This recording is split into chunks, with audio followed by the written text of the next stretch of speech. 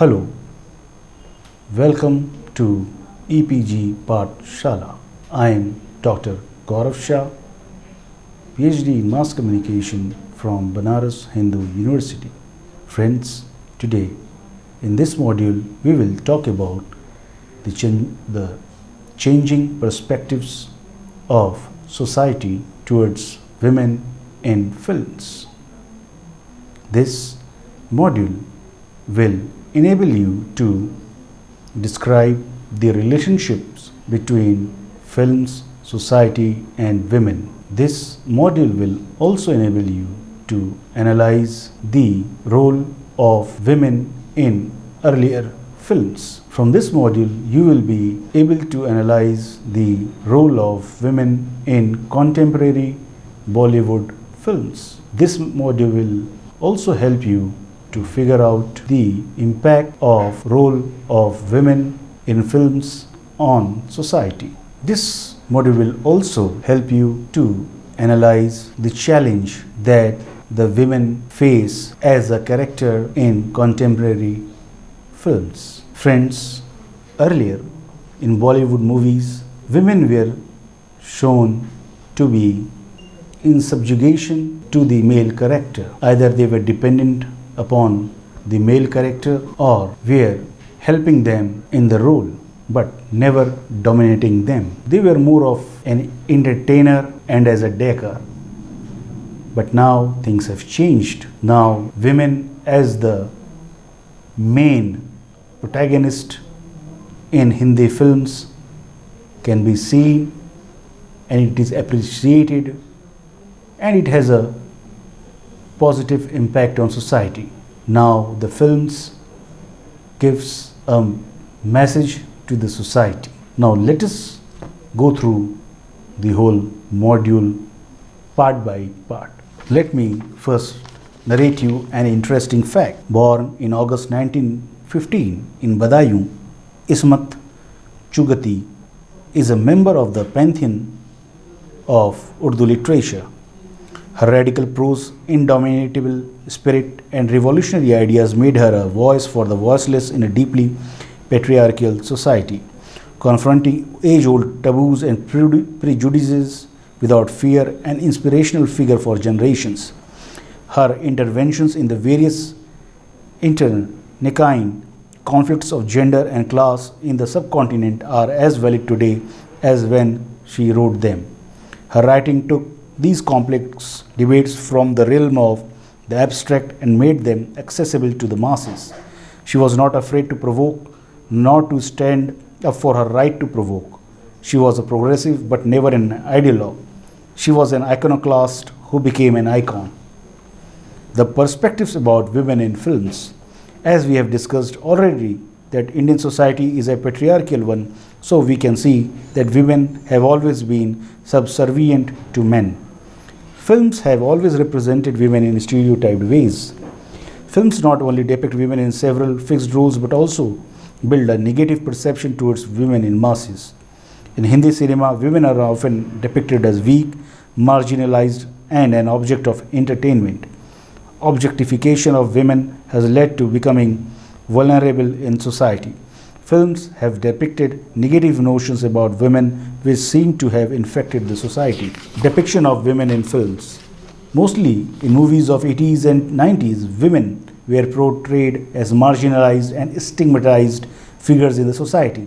They were represented as homemakers sacrificing her dreams for the sake of societal norms and as entertainers singing, dancing, and romancing with a hero. The portrayal of a protagonist sister's character was limited to tying Rakhi and getting kidnapped by antagonist. Widows were depicted as value laden and emotionless. They lived in isolation. The vid- widows were portrayed as someone whose life was colorless and they had no right to be happy. In films, widows wore white sari only. However, widows may not wear white sari in their day to day life. Marginalized. Generally, in these films, women were shown inferior to the hero. To show the masculinity of protagonist or antagonist, these female characters were depicted as subservient to the male characters. Hindi films show the character of mothers, sisters, lovers, and wives as vulnerable, and the antagonists take revenge by kidnapping, murdering, or molesting female characters. In Indian films, usually the story revolves around the hero. He is shown as, as sympathizing and protecting the female characters in films. Violence and harassment against them are complementary in many films. In women, films were always depicted as weak and vulnerable. They were also depicted as someone who can't be independent. Films like *The Dahej, Dev, Bivi Ho Aisi, Pati Parmeshwar depicted weak women. Women were shown to be loyal and obedient to their husbands. Through these films, patriarchal values have been institutionalized. In most of the films, depiction of daughters or sisters is limited to marriage, raksha bandhan, and kidnapping by villain. Rural women are also portrayed as poor, urging Lala for money. Also, they are depicted as illiterate and living in a hut or mud house. Sexual exploitation of women characters by the antagonist form the plot of a storyline as well. By and large, women characters are restricted to being an arm candy. Women are portrayed as feeble mortals, whereas men are shown to be strong and macho, serving entertainment purpose. In Bollywood, romancing, dancing, ballet, cabaret, and item songs are order of the day. Without item songs, no films are released. In the films of Bollywood, muscular heroes take the center stage and heroines to be more glamorous and have appealing look. As films are made for the entertainment purpose of masses, the most susceptible component of entertainment in film are characters of heroines. They serve the purpose of entertainment for the audiences. Romancing with hero in park, mountain, or lake is common in films. They have to dance with the hero in all kinds of locations. Item songs are very prominent in Bollywood. Amongst all big budget or multi-starrer films have an item song. At times, item songs become the criteria for success of a film. Item songs and dances are often performed by a scantily, scantily clad female actor whose character is not part of the film but comes on the screen in guest appearance. These are unwanted but necessary doses of entertainment. What does who does not remember Mehbooba Mehbooba item song from the film Sholay? Heroines have to be fair, beautiful, and sensual, irrespective of the kind of roles they have in films. They have to entertain the audience with her body, figure, sensual action, and behavior. Objectification of women. In Hindi cinema, there is formula for making commercially hit films which nowadays is followed by almost every filmmaker.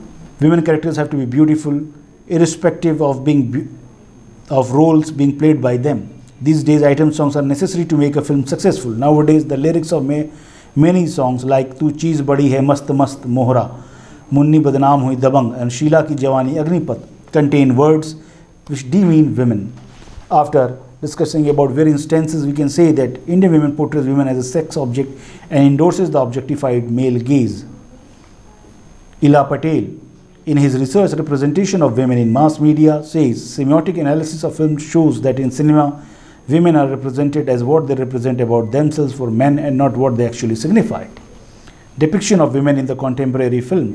In 1991, India opened its market through globalization and liberalization. After liberalization, Indian economy has changed drastically. With the help of technical advancement, the process of modernization has started. With the advancement of technology, attitude has changed both in cinema and society. Development gears towards change. With that depiction of women in films has also changed. Now women are getting space, time, and strong characters to play in films. Women-oriented films are being produced and directed by famous directors. This has led to the paradigm shift in depiction of women in films from entertainment to empowerment. Fighting for rights. Some sense of sensibility is entering Bollywood films. These, there are paradigm shift seen in contemporary films towards depiction of women in films. Now films are produced on women issues and their problems. In several films, they are portrayed as fighting for rights. Women characters are slowly and steadily becoming strong, independent, and fighting for rights in society. Released in 2014, film Queen is one of the examples of a young and confident middle-class girl in Delhi. Two days prior to her marriage, her fiance refuses to marry her because she, he wants to marry a girl who's confident and modern. He thinks that Rani is conservative and a traditional girl. She is shocked, but she moves on. She goes to Paris and according to her pre-booked honeymoon. There she enjoyed her life and explored many things. After returning home, Vijay wants to get married to her, but this time she dumps him. In this film, the character of Rani is depicted as having low confidence with simple background when she begins her life, but she evolves into confident and courageous girl. Ultimately, she developed into a character of courage and dignity. No One Killed Jessica was released in 2011. The film is based on the murder case of model Jessica Lal in Delhi. Jessica was shot dead in a pub in Delhi by Manu Sharma, who is a strong political leader's son. Jessica got justice after a long battle fought in the court of law. No one killed Jessica depicted two women characters who fought for justice for Jessica, Jessica's sister and a journalist. portrayed in lead roles or characters. Earlier in Bollywood, female characters were generally depicted as submissive, passive, and secondary, but in changed scenarios, women characters are shown as strong and confident. They are playing lead role in films. They are portrayed as main characters. Recently, many films were released where women were depicted as the main characters, like Piku, Tanu Weds Manu, Tanu Weds Manu Returns, Mary Kom, NH10, Bob, Bobby Jasoos, Gulab Gang, Dirty Picture, Kahani, Chak De, and many more. First, let us discuss about film Piku, where Piku character's name is the central character in the film. Piku Deepak, Deepika Padukone is the daughter of an 80-year-old Amitabh Bachchan who is suffering from the problem of constipation. She is not getting married because she wants to take care, care of her father. The film also has famous star Irfan Khan. It shows the maturity of Bollywood that in the presence of two big actors, women character gets a lead role. Similarly, Tanu Weds Manu and Tanu Weds Manu Returns are solely based on female character called Tanu in the Indian. In the film, she is shown breaking all the images and stereotypes related to an Indian girl. Character of Tanu is so loud and strong that she is not bothered to drink or smoke in front of her fiance or lover then. In Kahani, Vidya Bagchi, Vidya Balan, a spy is shown roaming around the streets of Kolkata in search of her husband's killer.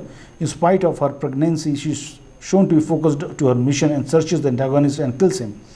Produced by Yash Films and directed by Shim, Shimit Amin, Chak De is a much celebrated movie in India. Chak De tells the story of Indian women's hockey team clinching the World Cup by overcoming several odds. However, King of Bollywood Shah Rukh Khan plays the role of a coach named Kabir Khan, but the main characters happen to those 14 girls who are the members of the hockey team. Against all odds, they win the World Cup thanks to their zeal and enthusiasm to excel in their life entering into male-dominated profession as portrayed in films. Bollywood is now experimenting with films and objects. Producers and directors are making films on unconventional theme and issues. They're not sticking to masala movies only. So women characters are evolving into characters of strong, educated, self-dependent women and playing roles in male-dominated professions. In Revolver, Rani Kangana Ranaut's character is of a gangster. Her character easily fights and guns down machines. She has a large number of male associates and subordinates, she easily fires guns at her rivals. In Kahani, Vidya Bagchi Vidya Balan acts in the role of a spy. The profession of a spy or an agent is largely dominated by males. It is a good sign that Bollywood is casting women for these kind of challenging roles. In another film called Bobby Jasoos, Vidya Balan acts in the role of a de detective. Rani Mukherjee acts in the role of a strict police officer in Mardani, dealing with drug mafia and human trafficking gangs. Earlier, women police were mainly used as a decorative element and shown to be subservient to the male protagonist. In patriarchal society like India, it is not considered good for girls to take part in sports. When it comes to sports like boxing and hockey, it is very hard to believe that women can take part in these sports. But situation is changing now in society and also in films. Films like Shak and Mary Kom have shown the way to us. In Indian politics, there are many women leaders, but in Bollywood, it's rare to see a woman as a political leader. Contemporary cinema has shown the women's character as political leaders such as Rajniti and Gulab Gang. Issue-based film on women. There are many problems and issues related to women in India, such as honor killing, female feticide, etc. Honor killing is basically the murder of a girl whom marries a person outside her caste or community, only for the sake of a so-called honor of the community or the family that girl is annihilated killers are prominent in the northern part of the, of the country, especially in Haryana and Uttar Pradesh. India is now facing the problem of sex ratio. Decreasing number of girls per 100 boys is alarming. This is happening because of female feticide. In the pursuit of male child, people are aborting their girl child in the womb. This has led to a grave consequence of decreasing number of girls in the country. Bollywood is not silent on this serious problem. There are many films made on this issue. Interesting fact in the midst of increasing intercaste marriages and prevailing women's separation, NH10 encourages India to plunge into liberalism and women empowerment. The movie is a superb attempt to address issues of violence and injustice amongst the sexes. On the issue of honor killing, a number of films have been made. Some of them are Khap, a story of honor killing, Aakrosh, Love, Sex or Dhokha, and recently released NH10. Matrubhumi, A Nation Without Women was based on female feticide. Though the purpose of films is entertainment, through an effort is made to create awareness in audiences. Future perspectives of women related films. After economic liberalization, the Indian markets were open to investment. This economic liberalization brought many positive things to India. It also brought technical advancement, and social consciousness in the society. These three things investment, technical advancement, and social consciousness created an environment in which films started raising women related issues. Industry does not stick to masala movie formula only, they are experimenting with different subjects. The path of for women oriented films in Bollywood is open now. Another technical advancement led to creation of multi-screen from single screen. Multiplex gives producers space to release low-budget films every week. Women-oriented films. The future of women-oriented films is very bright. Directors and film producers are getting confidence that they can make films centered on women and it would be economically viable. This is the reason behind release of so many films on women. These films are getting good responses from both the audiences and critics. A few months ago, the two women-centric films were released. One was Piku and other was Tanu Weds Manu Returns. Both the films got huge appreciations from audiences and critics. These are typical Bollywood commercial films in which women characters are central. It shows the maturity of both Bollywood industry and audience. Both have generated interest in making and viewing films on women. Earlier, they were depicted as submissive, exploited, and subservient to male characters. But in recent times, their characters are strong, confident, and are fighting for their rights. These roles are defining the new and modern women of changing age India. In Piku, the protagonist Deepika Padukone takes care of her aging father. She works in a corporate office and takes care of him. She doesn't want to get married because she doesn't want to leave him alone. Kangana Ranaut's film Tanu Weds Manu Returns, which is the sequel of Tanu Weds Manu, Tanu is the central character in the film. Tanu, Kangana Ranaut, is shown breaking the stereotype images built by society related to Indian girls. She is dominant character in the film. She loves her freedom and enjoys her life. Acceptance of films in society. At present, women-oriented films are getting good response. From being confined to the role of homemaker who depends on a male member, women is now being shown as an independent individual. These kinds of characters and films are being accepted in society. Acceptability of such films is a very good sign for modern India. All the films which are mentioned above were socially and economically successful. In tradition of Indian society, the role of Silk Smita in Dirty Picture was portrayed as bold and sexy. Dirty Picture was a hit and received national awards.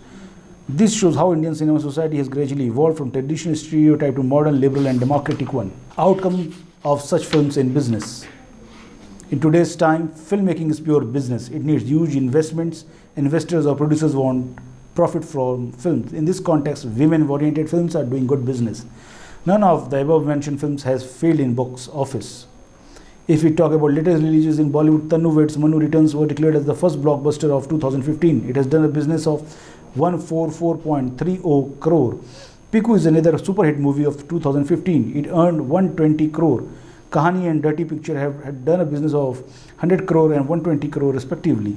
Films depicting the role of sports women, Chak De and Mary Kom box office collection were 100 crore and 107 crore. Profit of English Vinglish and Queen were 90 and 58 crore respectively. Did you know? Mary Kom is the only women boxer to have won a medal in each one of the six world championships. Friends, as I said earlier in the introductory part of the module, that there was a time when women were shown to the victim, shown to be the dependent upon the male member of the society. But now things have changed. After the investment, huge investment, advancement in technology, post liberalization in 91, a kind of social consciousness has entered into our society. And that has helped to change the dynamics of Indian cinema. Now we see that there are a lot of movies which are women-centric movies where the main character is women and they are very very profitable financially also movies like Tanu Weds Manu, Tanu Weds Manu Returns, Dirty Picture, English to English, Chak De, etc. These were all women-centric movies where the main character was played by a woman and in some films like Piku, the female character had two very experienced and stalwarts of Indian cinema, Amitabh Bachchan and Irfan Khan. But then also, the female character of Deepika Padukone was able to leave her impression, and the impression was very lauded and appreciated. So, in the end, we can say that as times have changed, society has changed, and so do Indian movies, and therefore the perspective of society towards women have also changed. Thank you.